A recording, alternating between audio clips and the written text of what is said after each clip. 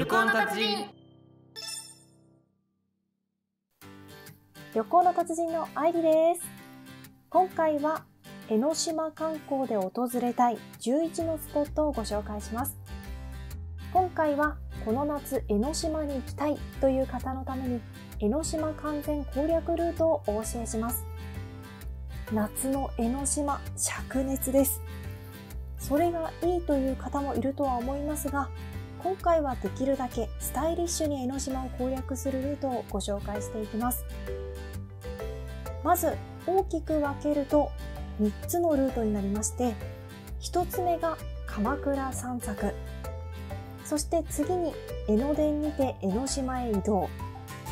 最後に江ノ島上陸。という流れがベストです。夏の江ノ島を攻略するには少し日が暮れてから行くのがおすすめなんです。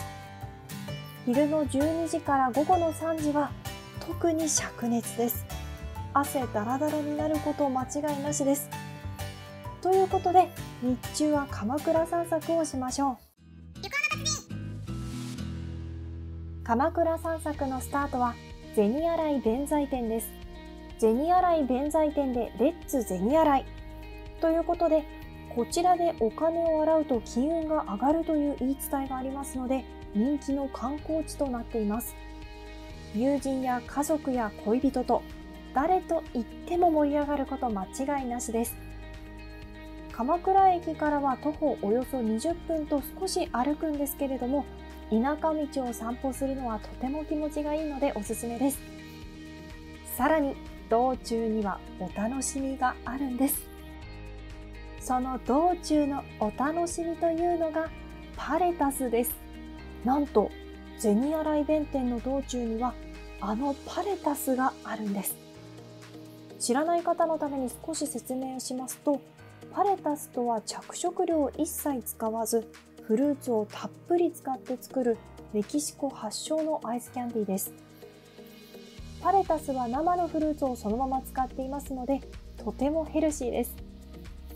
近年大注目されていますのでぜひお試しください。パレタスのお次は鶴岡八幡宮です。鶴岡八幡宮は鎌倉に来たらマストな観光地です。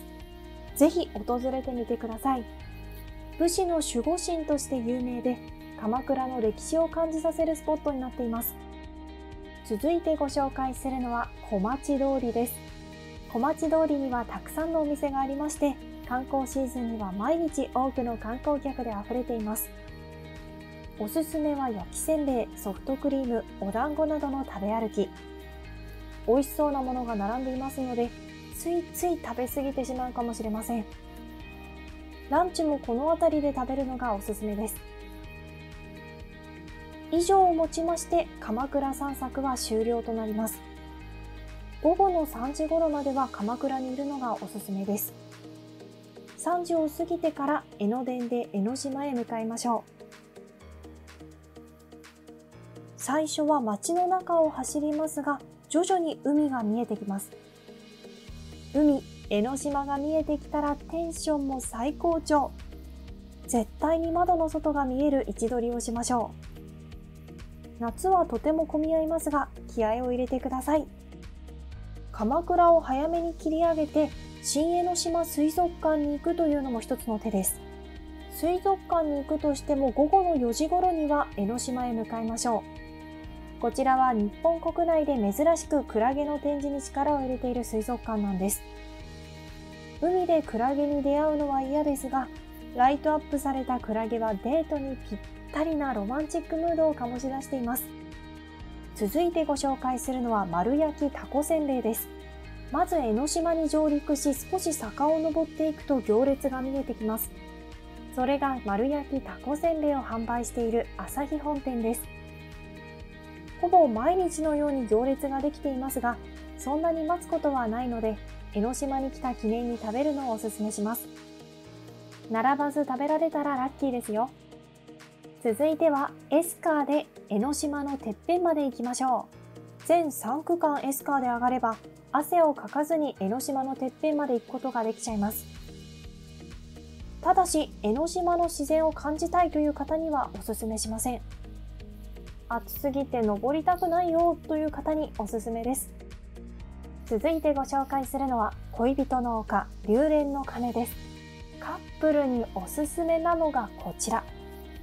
2人で鐘を鳴らすと別れないという言い伝えがあります。カップルは行って鐘を鳴らしちゃいましょう。ですが周りから丸見えなので注意が必要です。続いてご紹介するのはロンカフェです。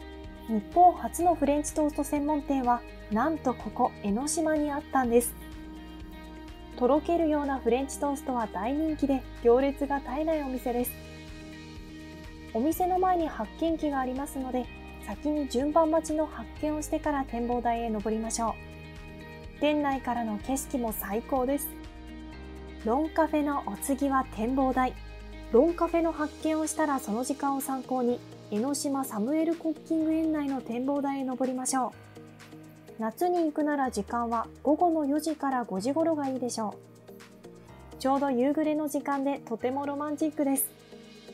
さあ、いよいよラストはイルキャンティビーチェです。江ノ島から出てすぐ新江ノ島水族館のすぐそばにあるイタリアンレストランです。全席オーシャンビューのこちらのお店はランチに行くのもおすすめですが、ディナーに行くとほんのり光を放つ江ノ島がなんともロマンチック。景色が見やすい席は予約必須です。いかがでしたか？皆さん、江ノ島行きたくなったんじゃないですか？夏の江ノ島はノープランで行くと痛い目に遭います。ぜひ、今回ご紹介した黄金ルートをご自身なりに改良して夏の江ノ島を思いっきり楽しんでくださいね。最後までご視聴いただきありがとうございます。よかったらいいねボタンとチャンネル登録をよろしくお願いします。